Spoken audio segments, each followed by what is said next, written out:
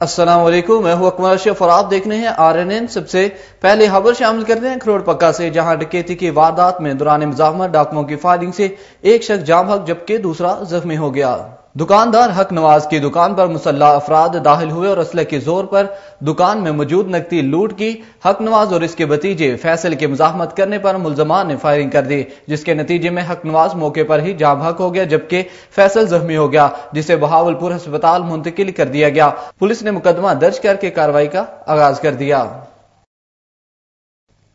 سترہ پولیس نے کاروائی کرتے ہوئے دو ڈکیت گینگز کے سات ارکان کو گرفتار کر لیا۔ ملزمان کے قبضے سے ساڑھے بارہ لاکھ نقدی، چھ موٹر سائیکل اور دیگر قیمتی سامان برامد کر کے مقدمہ درج کر لیا گیا۔ مزید جانتے ہیں نمائندہ رکس نیوز فیصل کمر سے۔ جی فیصل، آگاہ کیجیے گئے اس حوالے سے، کیا تفصیلات ہیں آپ کے پاس؟ جی بالکل۔ District police officer Sialkot Hassan Asad Alvi کی ہدایت پر اور S D P O Daska circle Muhammad Ramzan Kamboh کی سربراہی میں۔ جہاں پیشہ افراد کے خلاف جاری مہم کے دوران ایس ایچ او تھانسترہ محمد یوسف نے اپنی ٹیم کے ہمراہ ڈکیٹی راہزنی اور چوری کی بڑی وارداتوں میں ملوث، عمر عرف، عمری گینگ اور افضل اور فوجی گینگ کے ساتھ ملزمان کو گرفتار کر لیا ہے۔ ملزمان کو گرفتار کر کے ان کے قبضے سے شہریوں سے چھنا گیا۔ مجموعی طور پر بارہ لاکھ پچاس ہزار روپے نقدی، دس عدد موبائل فون، چھ عدد موٹر سائیکلیں اور دیگر سامان برآمد کر کے ان اصل مالکان کے حوالے کر دیا ہے۔ جبکہ ملزمان کے قبضہ سے وارداتوں کے دوران استعمال ہونے والا اسلحہ، جن میں چار عدد تیس بور پسٹل اور ایک کاربن شامل بھی برامد کر لیے ہیں۔ لوٹی ہوئی رقم واپس ملنے پر شہریوں نے پولیس کا کافشوں کو خوبصورہ اور پنجاب پولیس زندہ باد کے نعرے لگائے۔ اس موقع پر ایس ایچ او محمد یوسف نے بتایا کہ شہریوں کی جان و مال کا تحفظ پولیس کی اولین ترجیح ہے۔ پولیس کی اچھی کارکردگی سے شہریوں میں ساس تحفظ پیدا ہوتا ہے۔ جی اس اعتماد کو قائم رکھنے کے لیے D P O Hassan Asad Alvi کی سربراہی میں سیالکوٹ پولیس کے تمام ونگز شب و روز کوشاں ہیں۔ جی۔ بہت شکریہ فیصل کمر ہمیں تفصیلات سے اپڈیٹ کرنے کا۔ Rawalpindi anti corruption police نے سابق لیگی ایم پی اے چودھری سرفراز افضل کو بغیر N O C Palm City housing society کے پلاٹ کی خرید و فروخت پر گرفتار کر لیا۔ اس سلسلے میں مزید جانتے ہیں نمائندہ رکھتی ہوں تصور ملک سے۔ جی تصور آگاہ کیجیے گئے اس حوالے سے۔ کیا تفصیلات ہیں آپ کے پاس؟ جی بالکل۔ نو لیگ کے سابق ایم پی اے چودھری سرفراز افضل کو اینٹی کرپشن راول پنڈی نے گرفتار کر لیا۔ سرفراز افضل لیگی سینٹر چودھری تنویر کے بتیجے دانیال چودھری کے تایا آزاد بھائی ہیں۔ جبکہ سرفراز افضل کو آر ڈی اے سے منظوری لیے بغیر پام سٹی ہاؤسنگ سوسائٹی کے پلاٹ فروخت کرنے پر گرفتار کیا گیا۔ میں یہاں پر آپ کو یہ بتاتا چلوں کہ ایف آئی آر جو ہے کے مطابق سرفراز افضل سے مجاز اتھارٹی سے اجازت لیے بغیر ہاؤسنگ سوسائٹی کے پلاٹ فروخت کیے جس سے قومی خزانہ کو نقصان پہنچا۔ جبکہ سرفراز افضل نے غیر قانونی ہاؤسنگ سوسائٹیز کے پلاٹوں کی خرید و فروخت کر کے شہریوں سے بائی رقوم لوٹی۔ جبکہ ایف آئی آر میں سرفراز افضل کے والد چودھری افضل خان چچا Malik Ghulam Raza, deputy director, planning, R D A, Tahir Mayo بھی ملزم نامزد ہیں۔ جبکہ assistant director planning Samiullah Niazi, deputy director Muhammad Ijaz, building inspector Maqsood ul Hassan سمیت دس ملزمان بھی ایف آئی آر میں نامزد ہیں۔ جی۔ بہت شکریہ تصور ملک، ہمیں تفصیلات سے اپڈیٹ کرنے کا۔ شوق کا کوئی مول نہیں ہوتا، مگر پاکستان کے معمر کا یہ شوق نہ صرف ان کی بلکہ دوسروں کی زندگیوں کے لیے بڑا خطرہ ہے۔ اس جان لیوا شوق کی تکمیل اب تک سینکڑوں نوجوانوں کی زندگیاں نکل چکا۔ کیا ہے وہ شوق؟ جانتے ہیں حبیب اللہ بشیر دوست سے۔ جی حبیب، آگاہ کیجیے گا اس حوالے سے۔ کیا اپڈیٹ ہے آپ کے پاس؟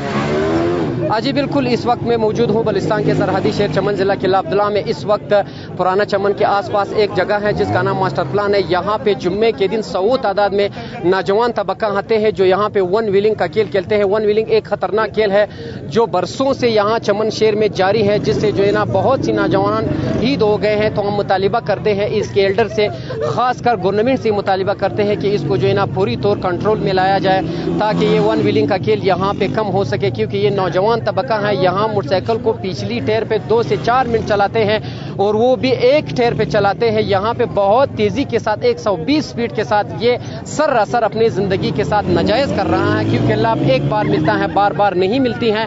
تو ہم گورنمنٹ سے مطالبہ کرتے ہیں کہ ان لوگوں کے لیے ایسی چیز مقرر کیا جائے یہاں پہ، تاکہ یہ بچے یہاں پہ اپنے ٹائم پاس کر سکے۔ یہاں پہ بچے بھی آتے ہیں، نوجوان بھی آتے ہیں جو ون ویلنگ کا کھیل کہتے ہیں۔ ایک تو موٹر سائیکل کا ون ویلنگ ہے، دوسری جانب یہاں گاڑیوں کی ون ویلنگ بھی جاری ہے جو بڑے بڑے ویٹس کارز ہے یہاں پہ ٹو ڈی پلڈرز ہے انزو ہے جن سے جو ہے نا یہ ون ویلنگ کی کھیل کھیلتے ہیں۔ اس میں بچے بھی ہوتے ہیں، ایک سو بیس اسپیڈ اسی اسپیڈ کے ساتھ یہاں پہ یہ لوگ اپنی زندگی کے ساتھ کھلواڑ کر رہے ہیں۔ تو ہم مطالبہ کرتے ہیں ان کے ایلڈر سے، ان کی پیرنٹس سے، ان کے ریلیٹیو سے کہ ان پر جو ہے نا پوری طور کنٹرول کرے۔ اگر خدا نکستہ اس میں کوئی حادثہ آئے، کوئی جو ہے نا شہید ہو جائے، تو پھر پیرنٹس اس کی جو ہے نا یہ غم اپنی زندگی تک سیتے رہیں گے۔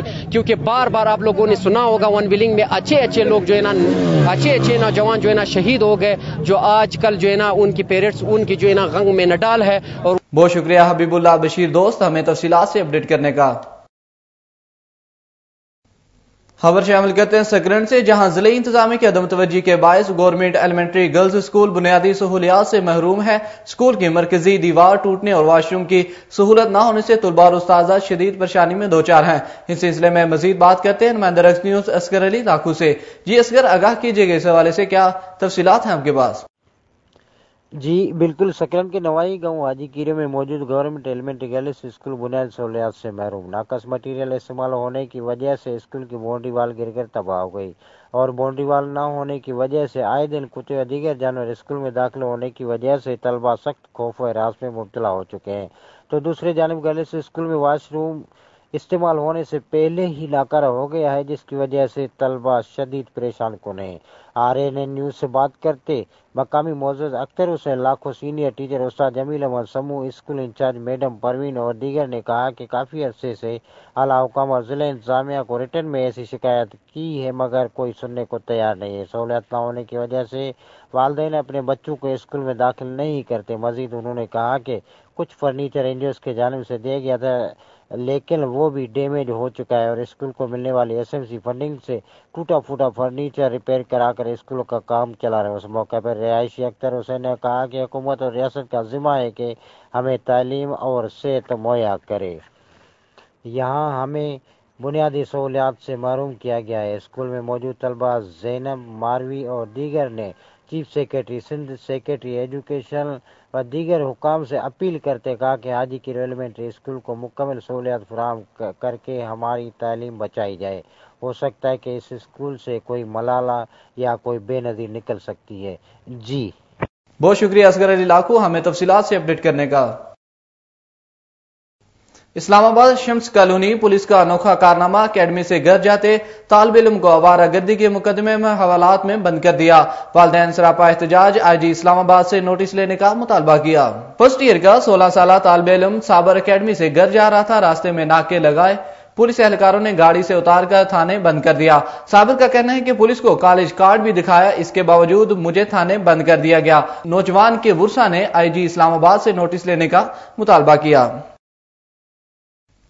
اور شری میں فٹ فائٹ اگینسٹ تھیلیسیمیا کے زیر تمام تھیلیسیمیا میں مبتلا بچوں سے اظہار محبت کے لیے نجی ہوٹل میں تقریب کا انعقاد کیا گیا، جس میں بچوں کو گفٹس، گرم شال اور جیلری تقسیم کی گئی۔ تقریب سے ہتاب کرتے ہوئے chairperson fit fight against thalassemia Ayesha Mahmood نے کہا کہ ملوک خدا کی خدمت قرب خدا بندی کا بہترین ذریعہ ہے۔ اس چھوٹے سے عمل سے اللہ کا پسندیدہ بندہ ہو جانا کسی صورت مہنگا سودا نہیں۔ انہوں نے کہا کہ ہم سب کو انسانیت کی ہمدردی اور بلائی کرنی چاہیے۔ اس موقع پر بچوں کو کھلونے اور کرونا وائرس سے بچاؤ کے لیے حفاظتی kits, mask, sanitiser, hand gloves بھی دیے گئے۔